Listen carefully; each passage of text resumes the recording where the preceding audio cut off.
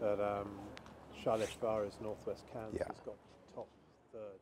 Right. The, you know, Yes, and because you've got a bit of Peterborough as well. Kind of and South Peterborough. Mm. Shailesh's seat is a very difficult seat because he doesn't really have a focus. yeah. Um, obviously, Hello, I'm Darryl Preston, candidate Conservative Police and Crime Commissioner for elections in next May here in Cambridgeshire. I'm here today in Huntingdon with the MP Jonathan Djanogly uh, for Huntingdon District. Morning, Jonathan. I wonder if you could tell me just a little bit about some of the concerns that residents here in Huntingdon and the surrounding areas bring to you in relation to law and order and policing. yeah, so here we are in a market square in my constituency. I should say it's Huntingdon, St Neots, and St Ives, so, uh, so three market towns. And not forgetting Godmanchester, so four Absolutely, yeah. technically. Um, and the, the issues that we face across the market towns are, are similar.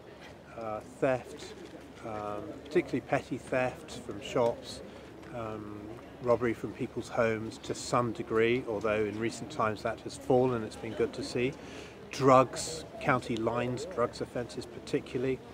Uh, and I think, uh, as with the rest of the country, there has been an upswing of drugs offences uh, locally.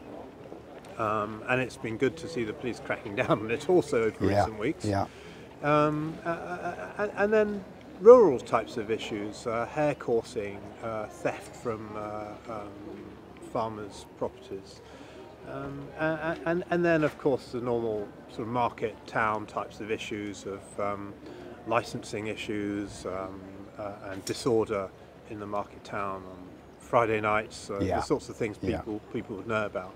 Um, but that actually cumulatively can upset people's lives if they're not uh, contained. Yeah.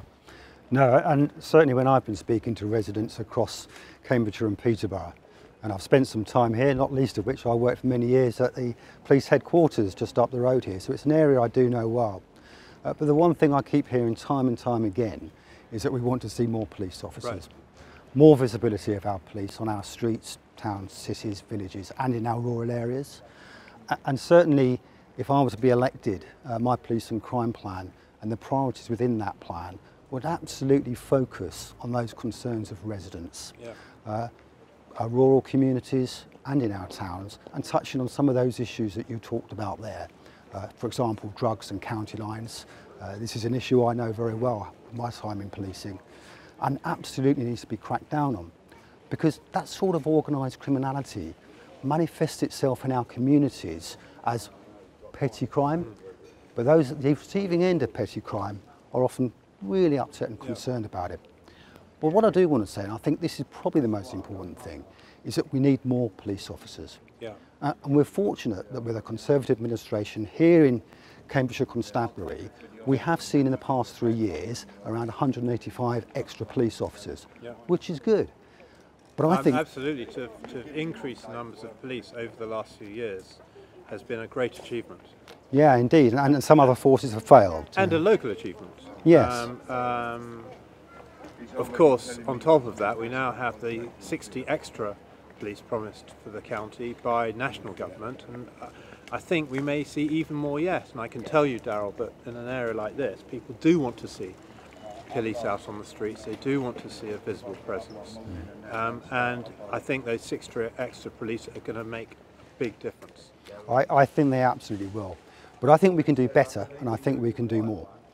And I would like to be setting a target for the Chief Constable that if I was elected, that over the next three years, we'd want to see 200 more police officers.